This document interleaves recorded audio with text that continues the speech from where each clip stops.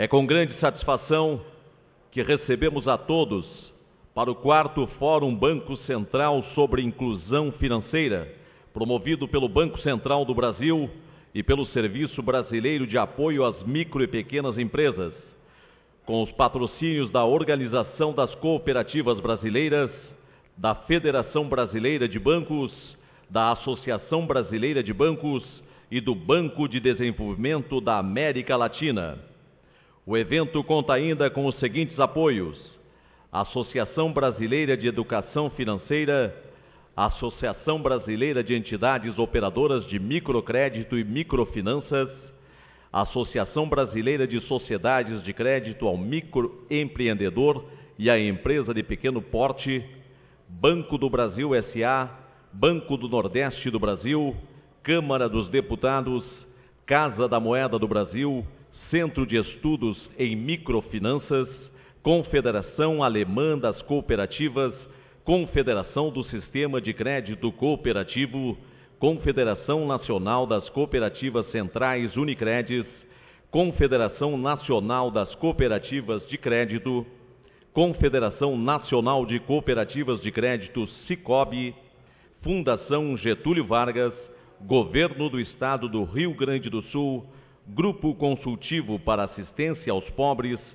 Instituto Brasileiro de Geografia e Estatística, Ministério da Fazenda, Ministério da Justiça, Ministério da Previdência Social, Ministério das Comunicações, Ministério do Desenvolvimento Social e Combate à Fome, Prefeitura de Porto Alegre, Procuradoria-Geral da República, Secretaria da Economia Solidária e Apoio à Micro e Pequena Empresa do Estado do Rio Grande do Sul, Secretaria de Assuntos Estratégicos da Presidência da República, Santander Microcrédito, Sindicato e Organização das Cooperativas do Estado do Rio Grande do Sul, Sindicato Nacional das Empresas de Telefonia e de Serviço Móvel Celular e Pessoal, Superintendência de Seguros Privados e Superintendência Nacional de Previdência Complementar. A estas empresas e instituições, os nossos agradecimentos. O objetivo do quarto Fórum Banco Central sobre Inclusão Financeira é apresentar e discutir o andamento das ações do Plano de Fortalecimento do Ambiente Institucional, no âmbito da Parceria Nacional para a Inclusão Financeira. O evento também será ambiente para debater a atuação das cooperativas de crédito, celebrando o Ano Internacional das Cooperativas. Antes de iniciarmos os trabalhos do quarto Fórum Banco Central sobre Inclusão Financeira, lembramos que, para o melhor andamento das nossas atividades, os horários deverão ser rigorosamente observados e os celulares deverão permanecer desligados. Convidamos para compor a mesa da sessão solene de abertura do quarto Fórum Banco Central sobre Inclusão Financeira o ministro de Estado, presidente do Banco Central do Brasil, senhor Alexandre Tombini. Acompanhado do governador do estado do Rio Grande do Sul, senhor Tarso Genro. Da ministra de Estado do Desenvolvimento Social e Combate à Fome, senhora Tereza Campelo do ministro de Estado das Comunicações, senhor Paulo Bernardo Silva,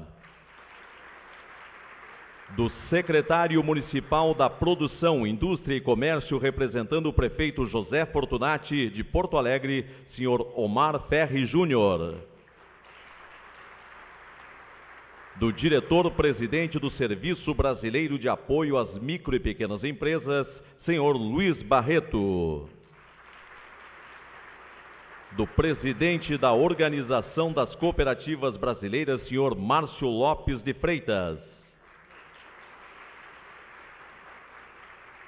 E do diretor de Relacionamento Institucional e Cidadania do Banco Central do Brasil, senhor Luiz Edson Feltrin. Convidamos a todos para, de pé, ouvirmos o hino nacional brasileiro e, em seguida, o hino do estado do Rio Grande do Sul.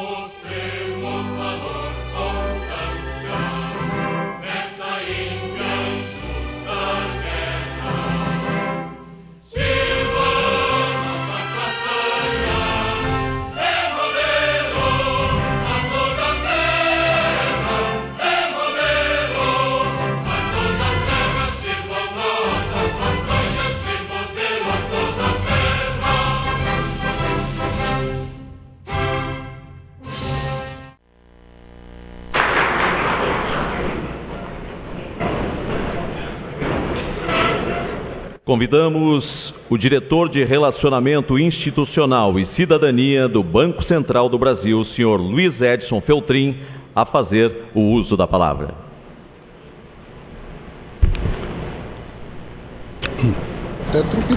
Senhoras e senhores, muito boa tarde. É com grande satisfação que, em nome do Banco Central do Brasil, de sua diretoria colegiada aqui presente, dou as boas-vindas a todos os participantes deste, que é o quarto Fórum Banco Central sobre Inclusão Financeira, nesta hospitaleira cidade de Porto Alegre.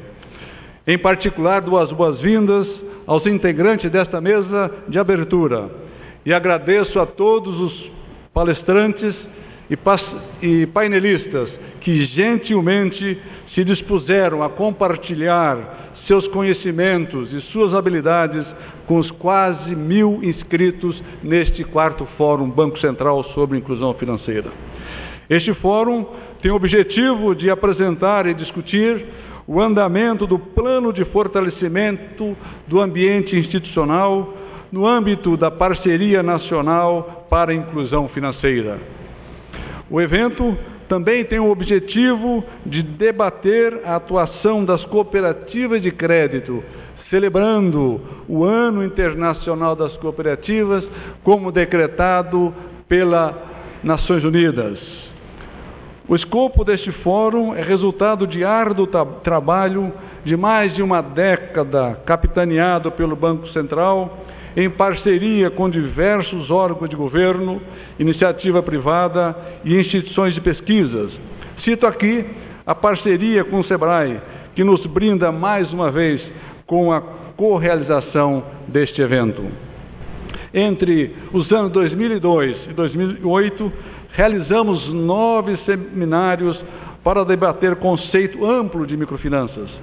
Esses eventos lograram disseminar a ideia e fazer com que a atenção dos agentes públicos e da iniciativa privada se voltasse para o assunto em momento em que o Brasil passava por reconfiguração de suas classes sociais, trazendo nova abordagem para essa questão. E a partir de 2009, o Banco Central passou a discutir as microfinanças já em outro patamar. O objetivo nesse novo contexto foi de atuar firmemente na direção de um processo de efetivo acesso e uso pela população de serviços e produtos financeiros adequados às suas necessidades. Esse processo complementou ações institucionais do Banco Central, no sentido de assegurar a solidez e o regular funcionamento do sistema financeiro nacional, em especial ao fortalecer as ações que proporcionam mais conhecimento do mercado e aprimoramento da disciplina regulatória sobre o acesso e o uso de serviços financeiros. O primeiro fórum, realizado em 2009, Identificou fortalezas e fragilidades do setor de microfinanças, contribuindo então para o redirecionamento das ações e estratégias do Banco Central sobre o assunto.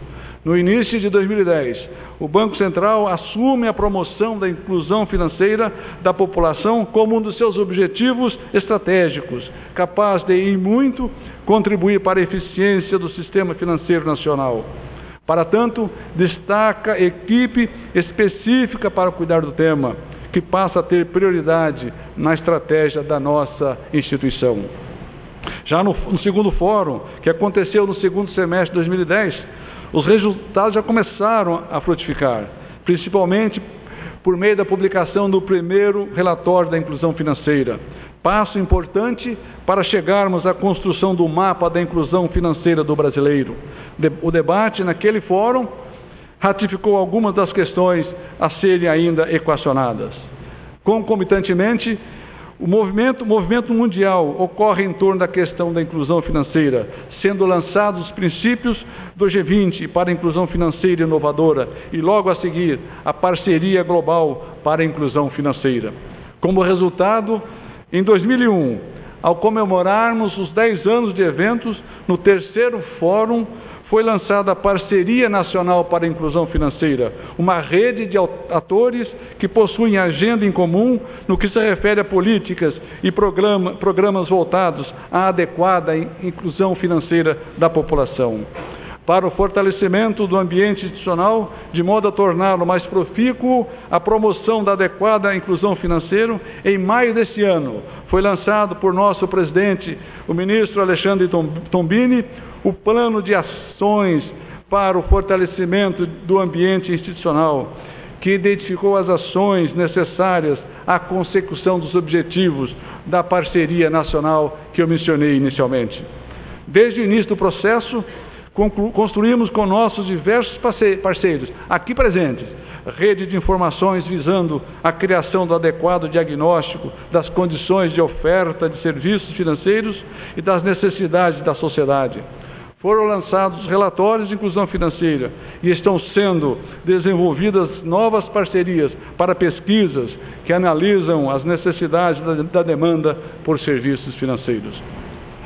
Tendo como subsídio esse diagnóstico, também buscamos aprimorar o ambiente regulatório, reduzindo incertezas e fomentando investimentos importantes na prestação de serviços financeiros, incluindo a área de microfinanças e o cooperativismo de créditos.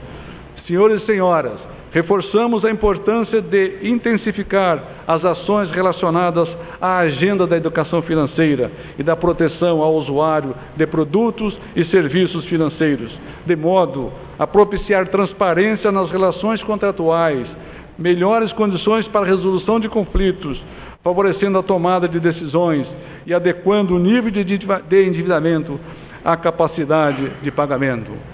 É nesse, nesse contexto, senhoras e senhores, convido a todos para participar do debate de todas essas importantes questões que serão objeto deste quarto fórum nesses três dias aqui em Porto Alegre, de modo a prosseguir na identificação, avaliação e proposição de resultados que possam atingir metas concretas na direção de um sistema financeiro cada vez mais sólido, eficiente, inclusivo e socialmente justo. Obrigado a todos.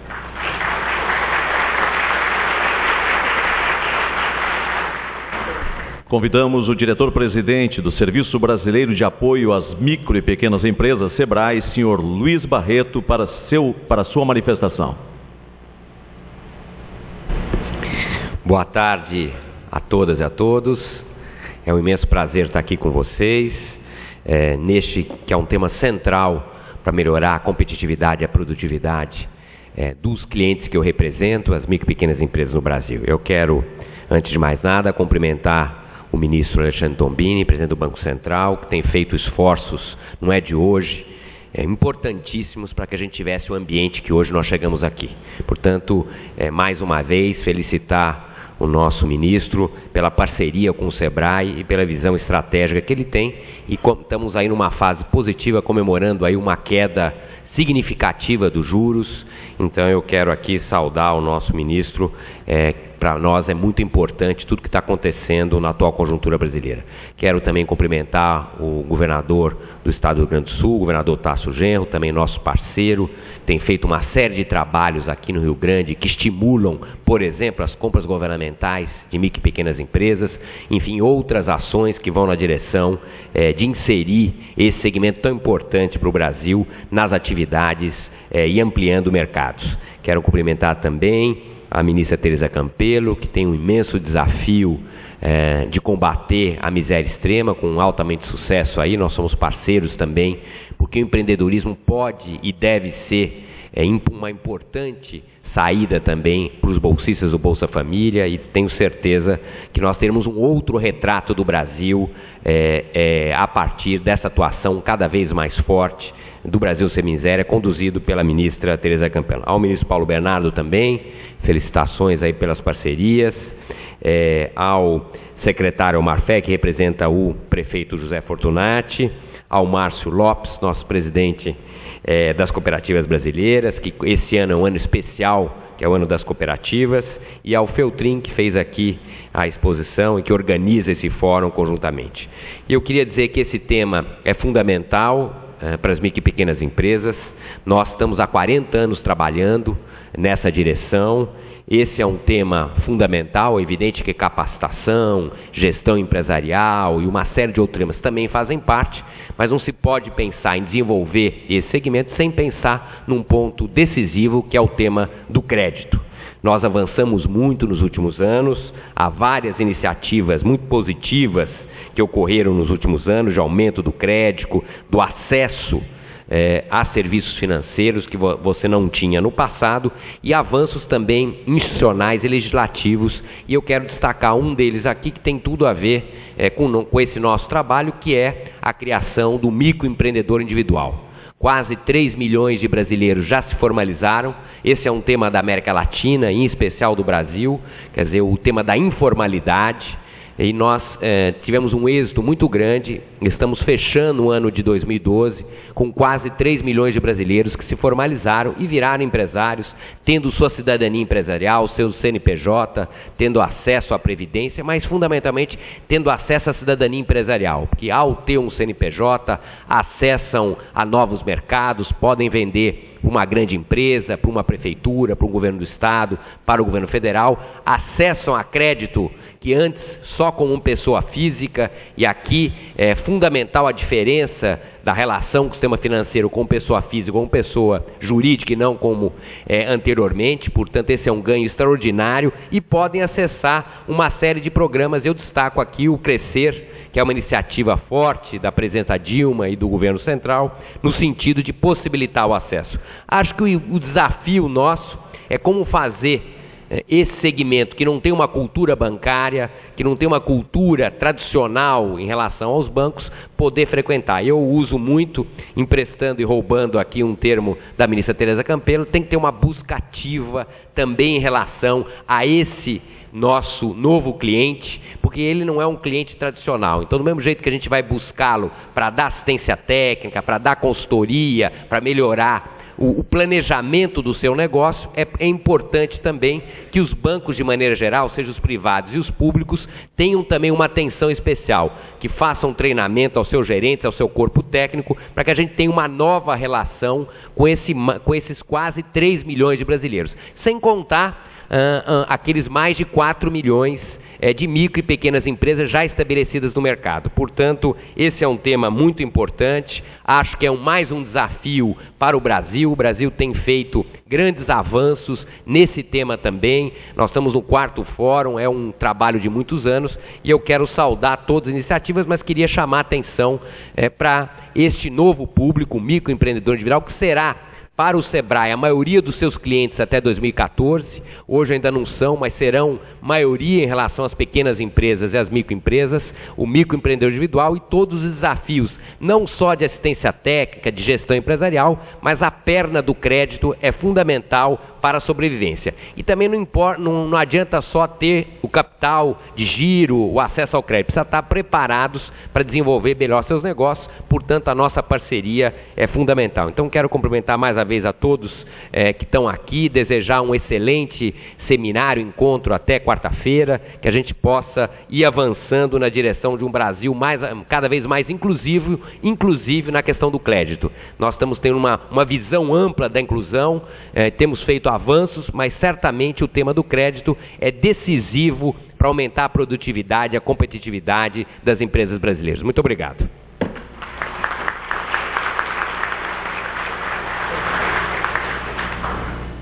Convidamos a fazer uso da palavra o ministro de Estado das Comunicações, senhor Paulo Bernardo Silva.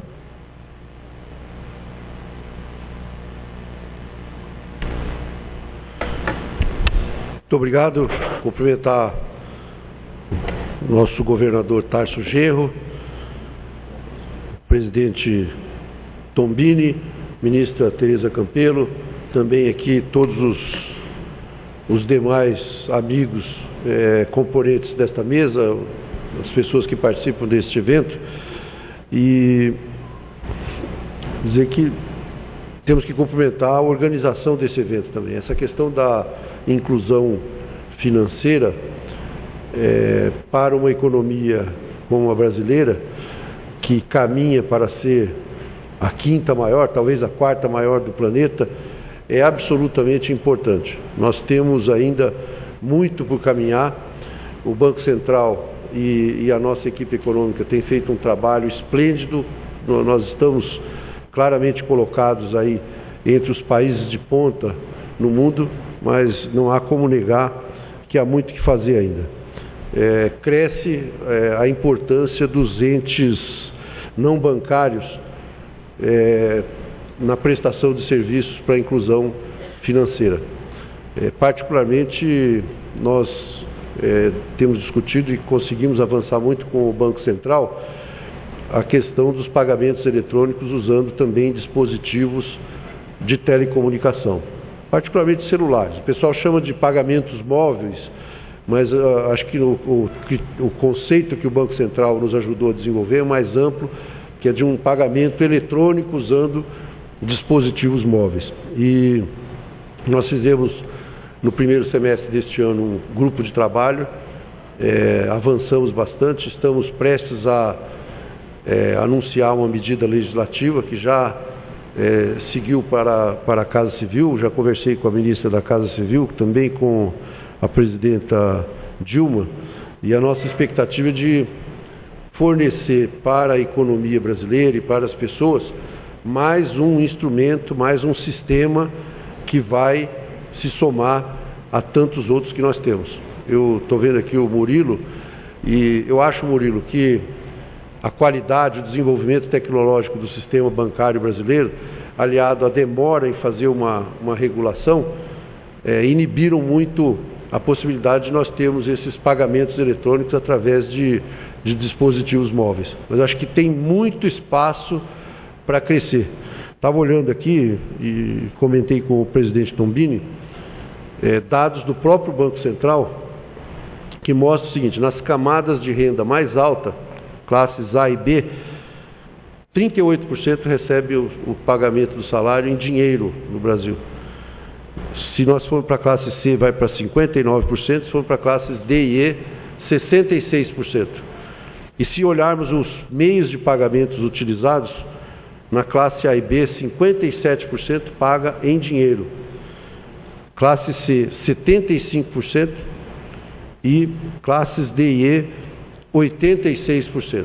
Dizer, de fato, tem uma, uma predominância muito grande da transação em dinheiro. Claro, as pessoas gostam de dinheiro, mas com certeza isso também tem a ver com os custos, com é, o, o que se cobra por transações, seja de banco, cheque, seja de cartão, cartão de débito, cartão de crédito, e, portanto, criar uma opção como essa de pagamentos eletrônicos com dispositivos móveis vai, com certeza, ajudar a baratear o custo dessas transações e aumentar a facilidade nos pagamentos. Eu acho que o que se, trata é disso, criar uma opção a mais. Uma carteira eletrônica, a pessoa anda com o, o, o dispositivo e faz o pagamento. Se você pegar, por exemplo, um táxi, um, um cabeleireiro, um, eu não uso cabeleireiro, mas tem gente que usa um táxi, um qualquer outro é, lugar, o custo de manter uma máquina, às vezes por ano, custa 350 reais. Quer dizer, com o celular nós vamos conseguir diminuir bastante esses custos, vamos disseminar esses aparelhos, esse, esses pagamentos. Né? Lembrando que nós temos no Brasil 258 milhões de linhas habilitadas de celulares. Né? Isso dá mais de 1,3 aparelhos por habitante. É, temos a presença da telefonia móvel em 99,98% dos municípios brasileiros. É, em 2010, 87% dos domicílios brasileiros possuíam celular.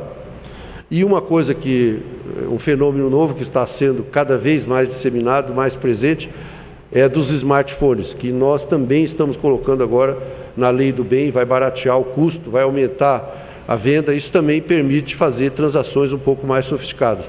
Mas basicamente nós achamos que nós temos que fazer transações tão simples quanto mandar um SMS ou abastecer um celular de crédito, e isso vai abrir uma oportunidade extremamente importante para melhorar a nossa economia.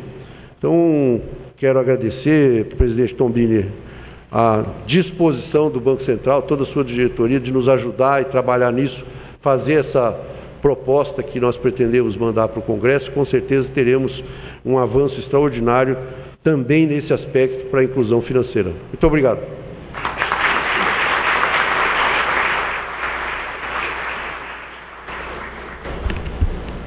Convidamos neste momento a ministra de Estado do Desenvolvimento Social e Combate à Fome, senhora Tereza Campelo, para o seu pronunciamento.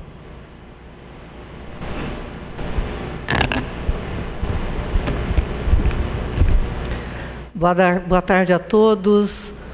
Eu queria cumprimentar nosso governador Tércio Genro, governador do Estado do Rio Grande do Sul, nosso parceiro do governo federal, do Brasil Sem Miséria, da Agenda Social do governo federal.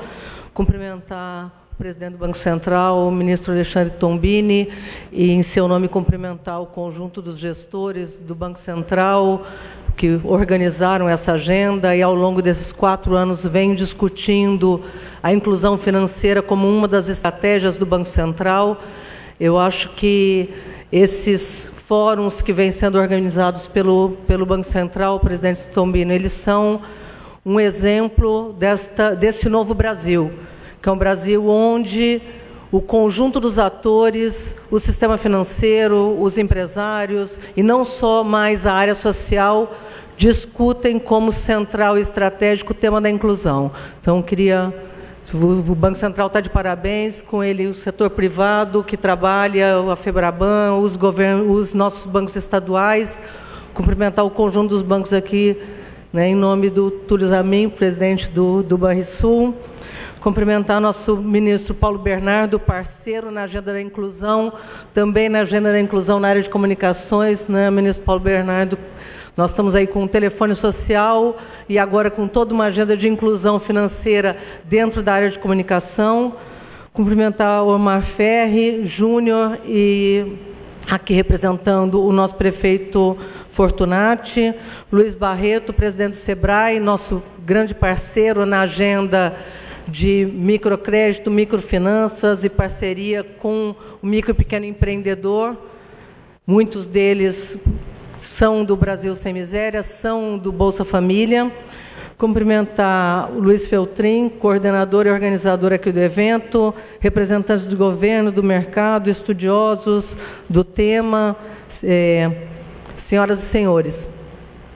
É, como eu disse, eu acho que nós estamos frente a um, um, novo Brasil que discute em todas as áreas estratégicas o tema da inclusão. O Brasil tem se destacado por reduzir desigualdades. Né? Hoje nós conseguimos ser um país que cresce cresce reduzindo desigualdades. Muitos dos indicadores dessa redução de desigualdades são conhecidos. A redução de desigualdade de renda, redução da mortalidade infantil e talvez um dos grandes esforços que nós temos feito como governo, como país ao longo dessa década de redução de desigualdades tenha sido da inclusão financeira e esses indicadores ainda são pouco conhecidos. Portanto, um debate como o de hoje, né, e esses fóruns que vêm sendo realizados pelo Banco Central, acho que nos ajudam a divulgar e a tentar entender quais são os desafios e aquilo que nós já conseguimos conquistar para garantir que a inclusão financeira continue acontecendo. Eu acho que vale a pena registrar né? Aquilo que nós conseguimos conquistar, eu acho que ao longo do governo do presidente Lula e da presidenta Dilma, vários foram os avanços. O microempreendedor individual, que foi citado né, pelo SEBRAE, a agenda do, de, de, regulação do crédito, da, do crédito consignado, a agenda da conta simplificada, o fortalecimento do PRONAF e a criação de vários mecanismos que fortaleceram e que criaram um ambiente para que a gente pudesse ampliar muito o crédito para a agricultura familiar, fortalecendo aí o seguro da agricultura familiar, as compras públicas e assim por diante. Como resultado desse esforço, nós temos hoje, dentro da agenda da população pobre, extremamente pobre, beneficiária dos programas é, coordenados pelo Ministério do Desenvolvimento Social, 2,7 milhões de famílias com contas simplificadas. Nós temos 1 milhão e 200 mil agricultores familiares no Brasil que são beneficiários à medida que conseguem ter acesso a mais de 12 bilhões de reais de crédito por ano no Pronaf e assim por diante.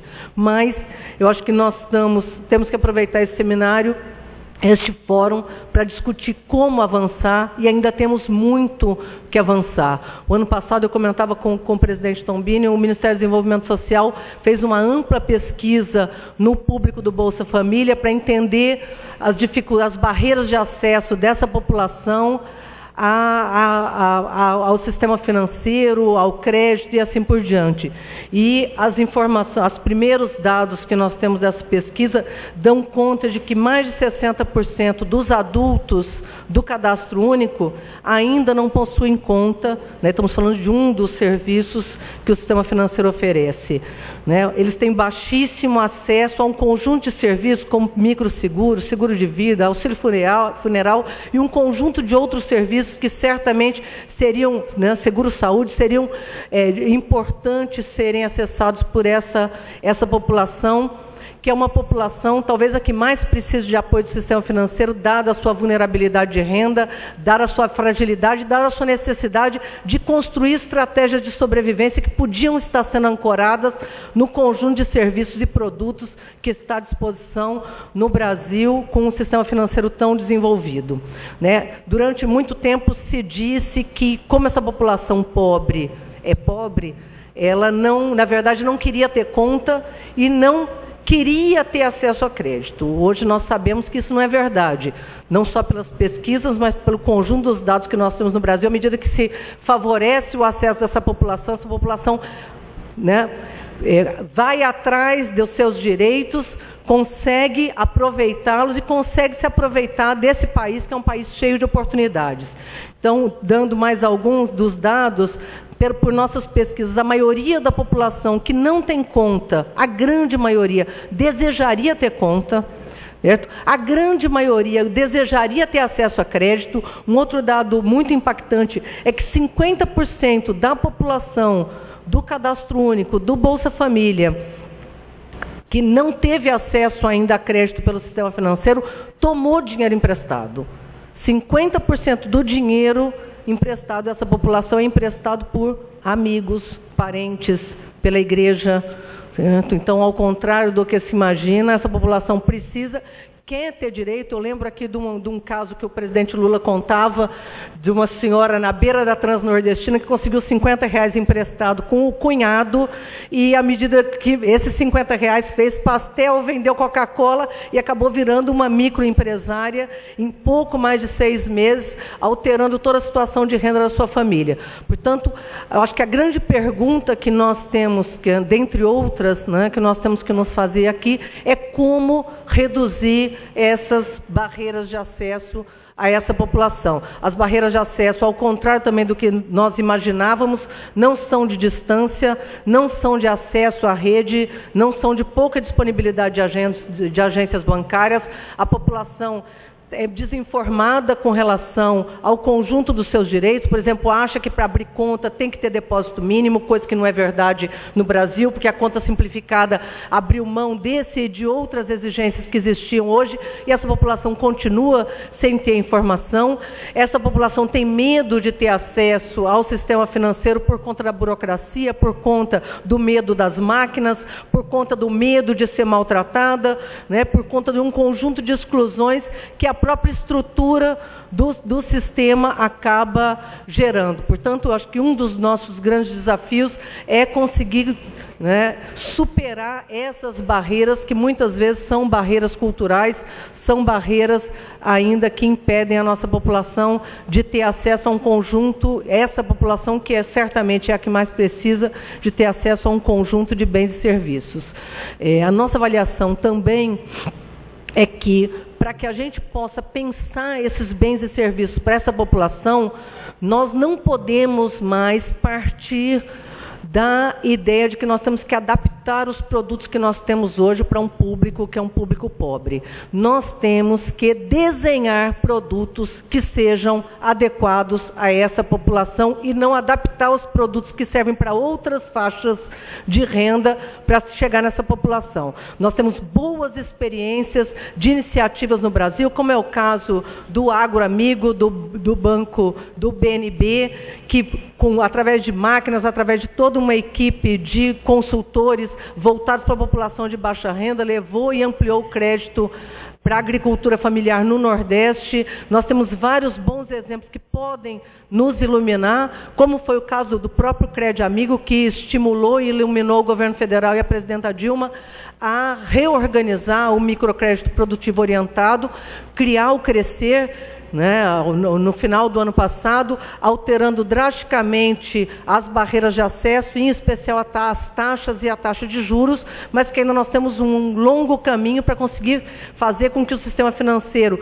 tendo essas ferramentas e essas novas normas, possa ir atrás da população e ofertar crédito onde a população está fazendo uma busca ativa. Portanto, eu acho que nós temos uma ampla agenda, nós já avançamos muito, mas temos uma agenda que é a agenda do futuro, que é a agenda de, de pagamentos móveis, como colocou o ministro Paulo Bernardo, a questão dos microseguros, a questão do microcrédito, a questão da poupança, a questão do cartão de crédito e tantas outras questões que estão colocadas para todos os outros setores da sociedade, mas que a população de baixa renda e a população pobre no Brasil também quer ter acesso. Quer ter acesso porque quer ter acesso à oportunidade.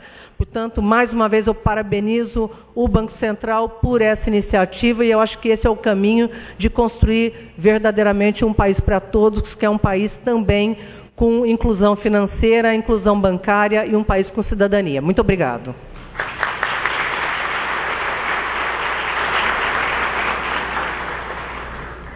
Convidamos neste momento o ministro de Estado, presidente do Banco Central do Brasil, senhor Alexandre Tombini, a fazer o uso da palavra.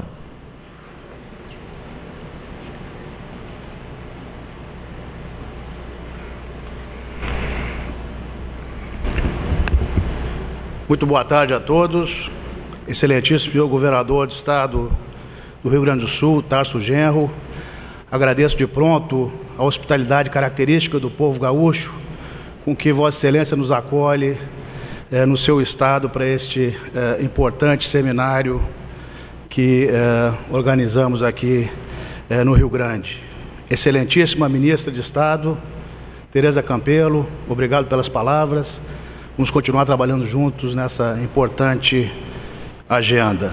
Excelentíssimo Ministro das Comunicações, Paulo Bernardo, também colega não só de ministério, mas certamente desta agenda, como ele bem eh, mencionou a respeito dos pagamentos móveis, uma importante agenda para a disseminação das finanças, para, para a inclusão financeira em nosso país. Senhor secretário municipal da Produção, Indústria e Comércio, representando o prefeito José Fortunati, Dr. Omar Ferri Júnior, uh, diretor-presidente uh, do Serviço Brasileiro de Apoio às Micro e Pequenas Empresas, SEBRAE, colega Luiz Eduardo Pereira Barreto Filho, também agradecendo as palavras de apoio ao nosso trabalho, nosso trabalho conjunto, digo eu. Senhor presidente da Organização das Cooperativas Brasileiras, Márcio Lopes de Freitas, também um guerreiro na a defesa aí de um cooperativismo em geral, em particular do cooperativismo de crédito, como instrumento de inclusão financeira, de disseminação das finanças, das finanças eh, no Brasil. Aproveito em nome dele para cumprimentar as lideranças do setor cooperativista. Estou aqui identificando vários de vocês presentes aqui no nosso, na nossa abertura. Queria cumprimentar também o diretor Luiz Edson Feltrin, faz parte da nova diretoria, recentemente criada no Banco Central. Em nome dele, aproveito para cumprimentar a diretoria colegiada do Banco Central aqui presente. Queria também cumprimentar as uh, lideranças do sistema financeiro. Vejo aqui o doutor Murilo Portugal, presidente da Federação dos Bancos. Aproveito, em nome dele, também cumprimentar os demais líderes uh, da indústria bancária uh, brasileira.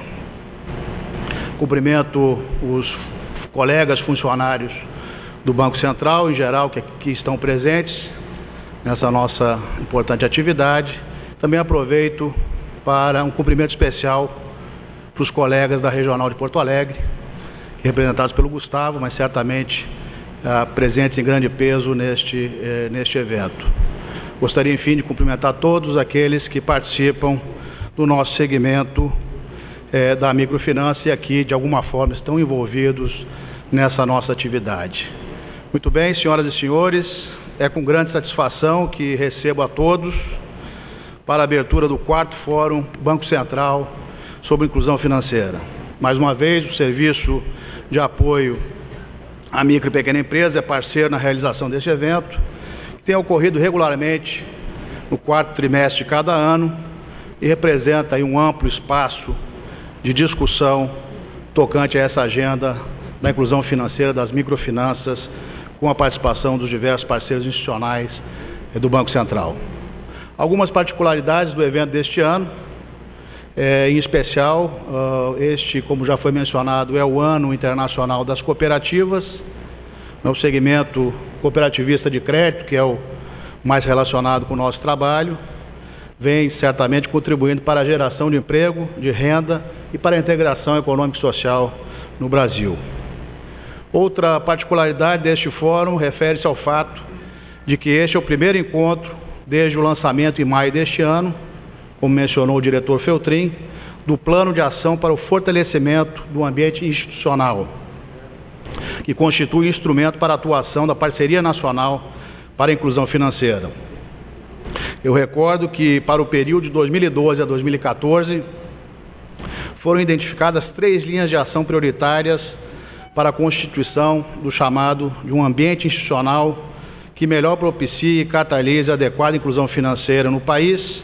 Todas essas três linhas estão é, é, certamente alinhadas com os princípios de inclusão financeira acordados pelo grupo do G20, do qual o Brasil faz parte.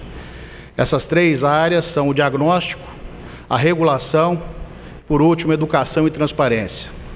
Tenho particular satisfação de destacar que todas essas ações compõem a pauta do debate que se inicia hoje, oferecendo aí a oportunidade ao, longo de hoje e dos próximos dias para um detalhamento dos avanços e da agenda que está por vir. Senhoras e senhores, a inclusão financeira é chave para o desenvolvimento socioeconômico do Brasil. Somado à importância da manutenção dos fundamentos macroeconômicos, a inclusão financeira pressupõe a discussão de estratégias, tanto na área de reformas microeconômicas, educação financeira, reformas de caráter regulatório, que, em resumo, garantam maior transparência e estímulo à concorrência nesse segmento da microfinanças. É, entre os princípios que norteiam esse processo estão mitigar a assimetria de informação existente entre os tomadores potenciais de crédito ou os potenciais clientes do sistema e as instituições que fazem parte do sistema, a redução dos custos de transação, faz parte também estimular a expansão dos canais de acesso, como mencionamos um importante canal que vamos detalhar mais, mais à frente, e também fomentar a diversificação da oferta de serviços financeiros de maneira a promover sua adequação às reais necessidades da população brasileira. Nesse contexto relacionado, a promoção de um ambiente inclusivo também fortalece os canais de transmissão da política monetária. Essa motivação está associada à missão do Banco Central de assegurar a estabilidade do poder de compra da moeda e um sistema financeiro sólido e eficiente. Em uma sociedade plenamente incluída financeiramente, oscilações nas taxas de juros tendem a ter implicações mais fortes sobre a expansão ou retração da demanda da economia, facilitando assim e reduzindo o custo do controle da inflação. A eficiência do sistema financeiro e a estabilidade do poder de compra da moeda são objetivos que caminham juntos. Um importante elo no fortalecimento de ações nesse sentido advém da participação aí dos diversos segmentos da indústria financeira que atuam nesse processo de inclusão de maneira diferenciada. Gostaria agora de me ater à contribuição do setor cooperativista de crédito.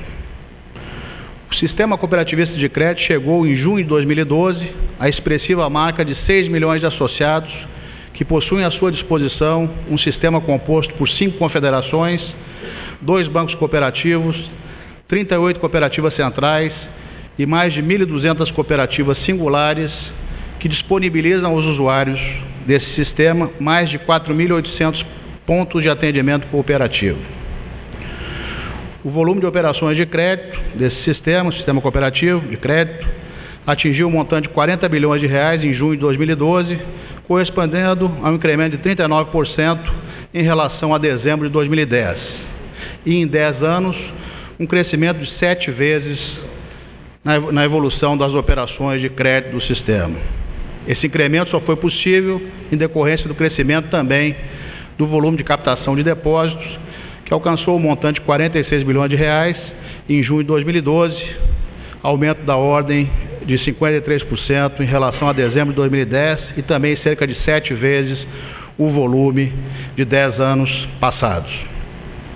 Mostra da importância do sistema das cooperativas para o desenvolvimento socioeconômico dos seus cooperados e das comunidades onde atuam é a declaração pela Organização das Nações Unidas do ano 2012 como Ano Internacional das Cooperativas. Nesse sentido, ao final do dia de hoje, o Banco Central promoverá o lançamento da moeda comemorativa alusiva ao Ano Internacional das Cooperativas, celebrando por oportuno o desenvolvimento e o crescimento do segmento nos últimos anos. Esse crescimento acompanha o processo de aprimoramento da regulação e legislação. Entendo ser este o momento de pontuar alguns importantes avanços normativos no passado recente. Primeiro, o estabelecimento de princípios de boa governança corporativa, bem como a disciplina sobre as confederações de crédito, suas funções de supervisão, tendo em conta especialmente a Lei Complementar 130 de 17 de abril de 2009, que reconhece os sistemas de crédito cooperativo organizados em centrais, confederações e empresas auxiliares. Em segundo lugar, a criação de novos tipos de cooperativas, como é o caso das cooperativas de livre admissão, as de microempresários sem vinculação de ramo de negócio e de empresários ligados a um sindicato ou entidade patronal. Houve também o, a criação eh, da Entidade Nacional para Auditoria em Cooperativas de Crédito, a CNAC, também um passo importante na melhoria da governança do sistema. O acesso independente das cooperativas à conta de liquidação e, posteriormente, o acesso a empréstimos de liquidez no mesmo dia, modalidade de, assist... de, modalidade de relacionamento do Banco Central eh, com as entidades que fazem parte do sistema financeiro. E por último, porém não derradeira, a possibilidade do eh, sistema das cooperativas de crédito seguirem um regime prudencial simplificado na, na sua gestão de risco, também na sua supervisão. Esse processo de aprimoramento persiste à medida que eh, que ainda remanescem alguns importantes desafios. Lembro que mais de 70% do volume de depósitos e dos créditos concedidos pelo sistema cooperativista de crédito estão ainda concentrados nas regiões sul e sudeste. Por isso, me parece oportuna a discussão sobre meios de elevar ainda mais a confiança nessas instituições, estimular a captação de depósitos e promover o fortalecimento e a solidez do segmento, possibilitando o nivelamento e a integração entre os diversos sistemas bem como a isonomia dos cooperados com os demais deposita depositantes do sistema financeiro. Para subsidiar ações nesse sentido, venho comunicar, senhores e as senhoras, a criação do Fundo Garantidor do Cooperativismo de Crédito, FGC-COP, com o objetivo de garantir os depósitos em cooperativas de crédito, além de, num segundo momento, apoiar operações de assistência e suporte financeiro. Esse fundo será de abrangência nacional, independente e contará com a participação de todas as cooperativas de crédito que captam depósitos além dos bancos cooperativos.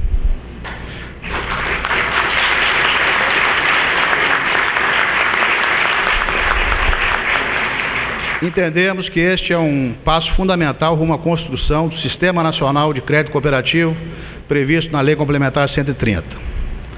Além disso, reconhecendo que a evolução do sistema de crédito cooperativo tem proporcionado também a ampliação e o aumento da complexidade das atividades exercidas pelas cooperativas, o Banco Central conduziu estudos e debates visando a permitir melhor avaliação da posição patrimonial, econômica e financeira das cooperativas de crédito e dos respectivos grupos aos quais pertençam, de modo a aprimorar o processo de supervisão dessas entidades.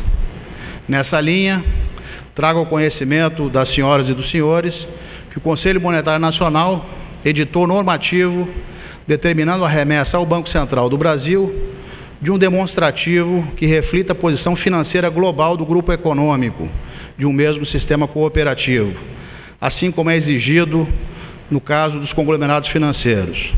Este demonstrativo, denominado balancete combinado do sistema cooperativo, consiste na combinação de ativos, passivos, receitas e despesas das instituições integrantes de um mesmo sistema, como se em conjunto representassem uma única entidade.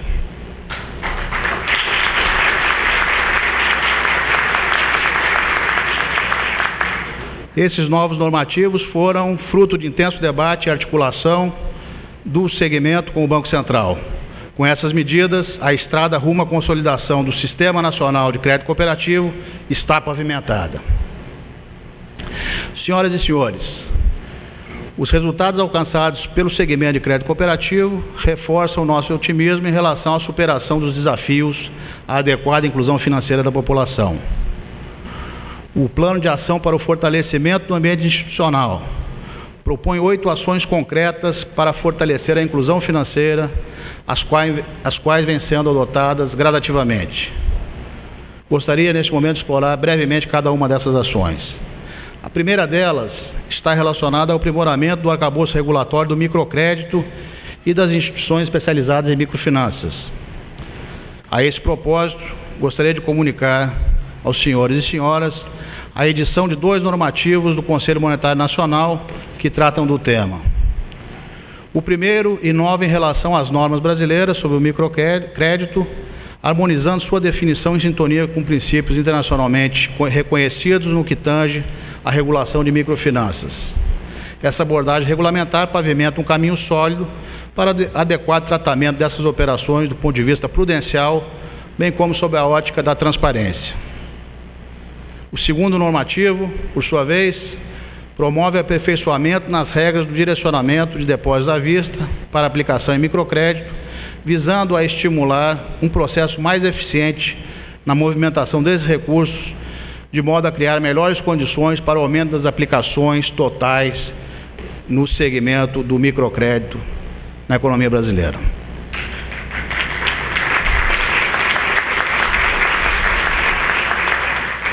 Em relação à segunda ação do Plano de Fortalecimento do Ambiente Institucional, que prevê atividades com foco na diversificação e na melhoria dos serviços financeiros, adequando-os às necessidades, às necessidades da população, em especial das pessoas de baixa renda, recordo a recente criação do Subcomitê de Inclusão Financeira no âmbito do Coremec. Coremec é o comitê que congrega todos os reguladores, Comitê de Regulação e Fiscalização dos Mercados Financeiros, de Capital, de Seguros, de Previdência e capitalização.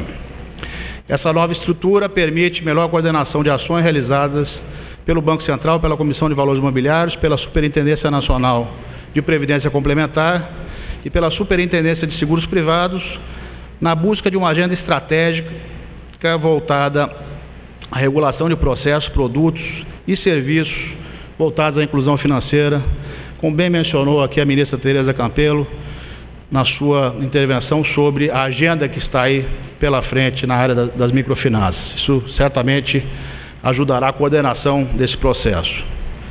Nesse sentido, os senhores terão a oportunidade, durante as atividades desse quarto fórum, de entender como essa atuação coordenada pode refletir-se em resultados concretos para a sociedade.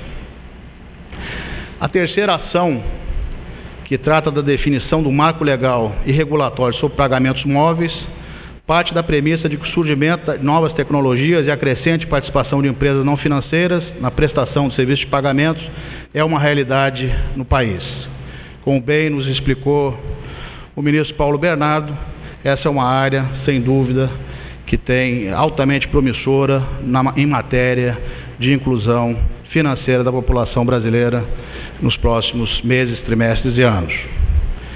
Esse cenário o uso das novas tecnologias tem o potencial de trazer benefícios, tais como redução de preços, mais conveniência, melhoria dos serviços, facilitação da inclusão financeira e maior competição na prestação desse serviço. No entanto, há riscos inerentes a atividades relacionadas ao serviço de pagamentos, que merecem ser corretamente dimensionados e mitigados. Nesse contexto, gostaria também de trazer ao conhecimento, como já vimos, que estamos finalizando essa proposta de lei que será submetida à excelentíssima presidenta Dilma Rousseff nos próximos dias sobre esses arranjos de pagamento e as instituições de pagamento integrantes do sistema brasileiro de pagamentos. Essa proposta traz em sua gênese a iniciativa do governo federal e os trabalhos do grupo técnico que se referia o ministro Paulo Bernardo, composto por representantes do Ministério das Comunicações e do Banco Central. A medida visa trazer a segurança jurídica necessária às partes envolvidas nesses novos esquemas de pagamento e remeterá ao Banco Central a tarefa de regulamentação de uma da proposta legislativa. Em relação à quarta ação, que trata do fortalecimento da rede de canais de atendimento ao usuário de serviços financeiros, eu destaco a resolução 4072 de abril deste ano, que alterou e consolidou as normas sobre a instalação no país de dependências de instituições financeiras e demais instituições autorizadas a funcionar pelo Banco Central do Brasil. Essa resolução teve por objetivo racionalizar o processo de constituição e funcionamento das agências e postos de atendimento dos bancos, contribuindo para um ambiente regulamentar mais conveniente ao crescimento de uma rede de atendimento eficiente e adaptada às necessidades atuais da população em relação aos serviços financeiros. Essa nova regulamentação já apresenta resultados concretos na estratégia de expansão das redes de atendimento dos bancos tendo em vista a possibilidade de instalação de postos de atendimento com estrutura mais flexível e adaptada às necessidades locais. Os bancos de rede já estão testando novos modelos de postos de atendimento com rol de serviços adaptados às necessidades do público local. É o caso da iniciativa de alguns bancos de grande porte que passaram a instalar em municípios de pequeno porte comunidade, e comunidades de grandes cidades postos que já apresentam resultados na abertura de contas de depósito e oferecimento de capital de giro para pequenos empresários. Dessa forma, a nova regulamentação tornou possível para as instituições financeiras o oferecimento de ampla gama de serviços com baixo custo de instalação e de manutenção, dado que as maiores despesas de uma dependência própria estão associadas à segurança e à logística que envolve a movimentação do dinheiro físico, o que é mitigado, minimizado nesses novos canais de distribuição. Lembro ainda que, visando ao fortalecimento dos canais de acesso, desde 2011 foram realizados aprimoramentos normativos, consolidando o modelo de correspondentes no país, que, com sua vasta rede de pontos, reforçam o atendimento prestado pelas dependências próprias de bancos, levando acesso a serviços financeiros a localidades antes desassistidas e tornando o acesso mais conveniente em grandes centros. No tocante à quinta e à sexta ações do plano, que tratam da promoção da educação financeira e da divulgação dos direitos e deveres do consumidor de produtos e serviços financeiros, trago ao conhecimento das senhoras e dos senhores a criação na estrutura organizacional do Banco Central do Brasil da área de relacionamento institucional e cidadania, dirigida pelo diretor Luiz Edson Feltrin. Esta nova diretoria está organizada em três unidades: o Departamento de Atendimento Institucional, o Departamento de Comunicação e o Departamento de Educação Financeira. Essa organização tem o propósito de aprimorar os processos necessários à promoção da educação financeira da população brasileira e a redução da simetria de informações entre os provedores de serviços financeiros e a sociedade em geral. Em relação à sétima e à oitava ações, que tratam do diagnóstico da inclusão financeira no país, destaco parcerias desenvolvidas por este Banco Central no intuito de aprofundar o conhecimento sobre o tema, subsidiando a adoção de políticas públicas específicas para a inclusão. Destaco a título de exemplo o recém-constituído grupo de trabalho com representantes do Banco Central e do Instituto Brasileiro de Geografia e Estatística, o IBGE, que vem se somar a outras parcerias e acordos de cooperação técnica que visam avaliar o acesso e o uso de serviços financeiros, os entraves ao processo de inclusão e a qualidade dos serviços prestados. Para a realização dessas oito linhas de ação que mencionei, além do IBGE, o Banco Central tem contado com diversos parceiros para o debate e atuação conjunta, entre eles o Ministério da Fazenda, o Ministério da Justiça, o Ministério do Trabalho e Emprego, o Ministério do Desenvolvimento Social e Combate à Fome, o Ministério do Desenvolvimento, Ministério do Desenvolvimento, Indústria e Comércio, o Ministério das Comunicações, o Ministério do Desenvolvimento Agrário, a Secretaria de Assuntos Estratégicos da Presidência da República, o Ministério Público Federal, a Comissão de Defesa do Consumidor da Câmara dos Deputados, o SEBRAE, as associações de classe enfim, um grande conjunto de entidades que fazem parte dessa estratégia nacional é, de inclusão financeira. Gostaria de agradecer a atenção e o apoio de todos os convidados que contribuem para a formação de uma rede sólida para prosseguir na construção de uma agenda cada vez mais forte e eficiente em prol da inclusão financeira no Brasil. Tenho a convicção de que as atividades em curso podem efetivamente aprimorar e fortalecer o ambiente institucional para adequada inclusão financeira da nossa população. Gostaria ainda de ressaltar o, nosso engajamento na gestão da sustentabilidade deste evento, buscando neutralizar as emissões de gases de efeito estufa resultantes das atividades aqui conduzidas. Para isso, contratamos o serviço de uma empresa que calculou o total dessas emissões em toneladas de CO2 equivalente, usando referências externas e públicas, tais como aquelas divulgadas pelo Ministério da Ciência e Tecnologia e das Minas e Energia. A compensação será efetuada por meio do plantio e monitoramento de mudas de árvores nativas em florestas ciliares da bacia hidrográfica do Rio dos Sinos, aqui na região da Grande Porto Alegre. Essa é uma ação simples, mas que pode, se disseminada, colaborar para o desenvolvimento sustentável.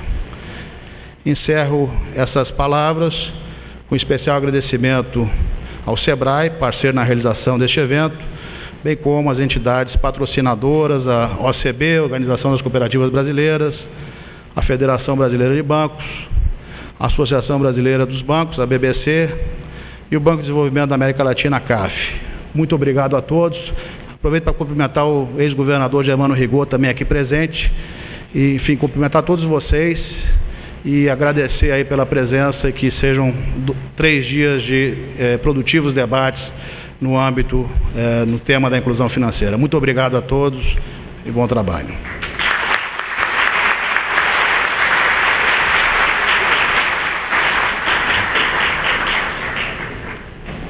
Com a palavra neste momento, o senhor governador do estado do Rio Grande do Sul, senhor Tarso Genro.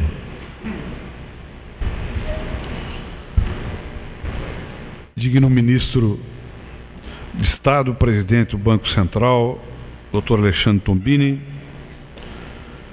senhor ministro de Estado das Comunicações, caro amigo e companheiro Paulo Bernardo da Silva, querida, estimada ministra Tereza Campelo, do Desenvolvimento Social e Combate à Fome, nosso estimado governador Germano Rigoto, que nos prestigia aqui neste ato, senhor secretário Omar Ferri Júnior, que aqui representa o senhor prefeito de Porto Alegre, nosso secretário de Estado da Fazenda, Odir Tonalier, da Economia Solidária e Apoio à Micro e Pequena Empresa, Maurício Zedrick, nobre deputado federal Ronaldo Zulck, senhor diretor-presidente do SEBRAE, doutor Luiz Eduardo Barreto Filho, que nos honra com a sua presença, senhor presidente da Organização das Cooperativas Brasileiras, Márcio Lopes de Freitas,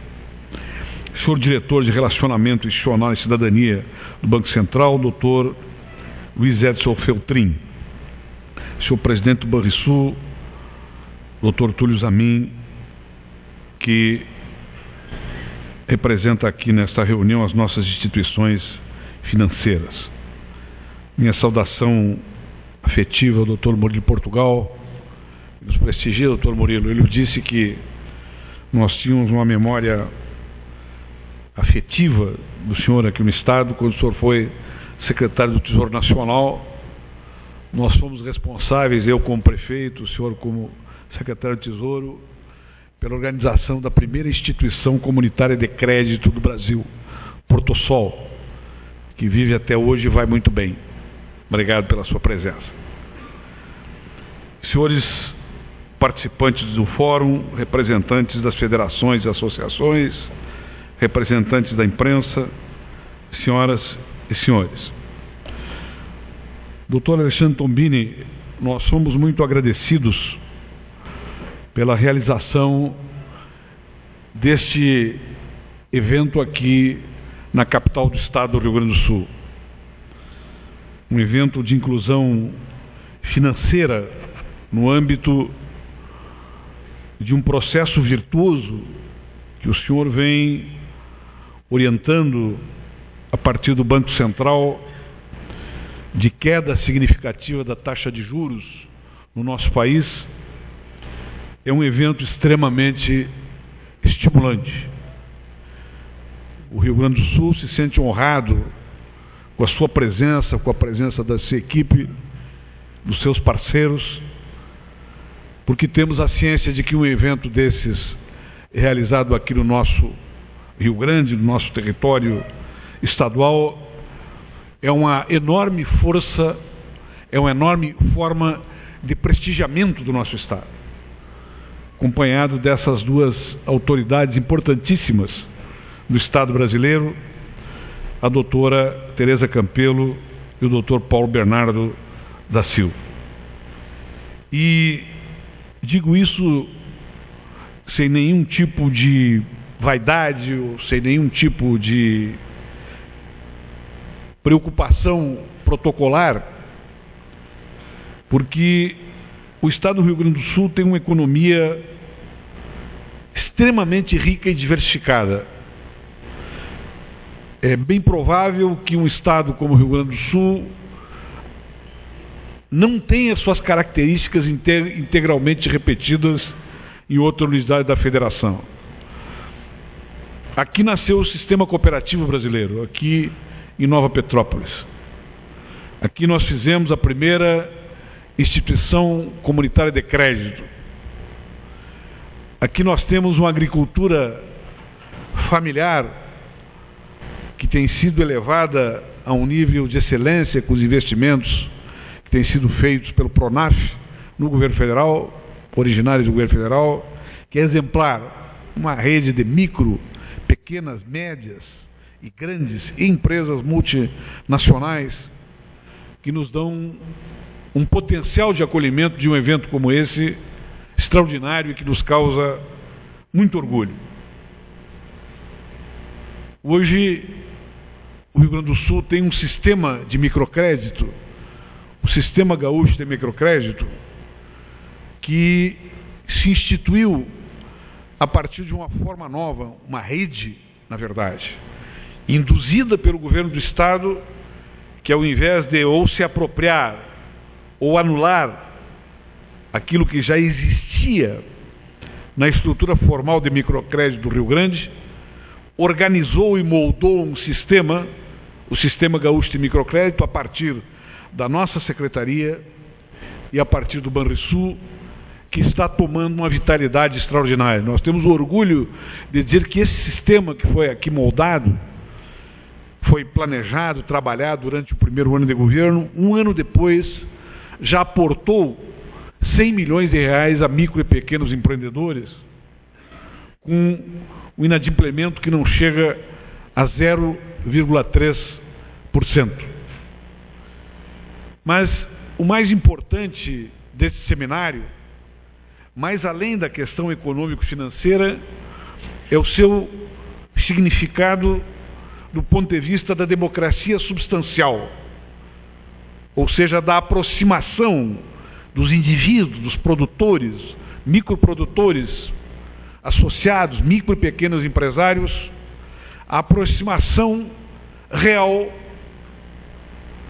que eles podem fazer de todo o sistema composto de direitos da Constituição brasileira através da inclusão financeira. A inclusão financeira é o nome radical da inclusão social à medida que combate as desigualdades, que aprimora as políticas de desenvolvimento microrregional e que potencializa a economia de baixo para cima como um todo. Por isso, ministro Tombini, eu registro aqui os nossos profundos agradecimentos pela presença deste evento aqui no Rio Grande do Sul. E receba, em nome do povo gaúcho, através do seu governador, o nosso abraço reconhecido e o desejo de que esse evento eh, não somente potencialize as políticas do governo federal, mas também que seja um exemplo de democracia substancial, inclusiva, que se dá de forma bastante profunda, de forma muito radical, através da inclusão financeira. Muito obrigado.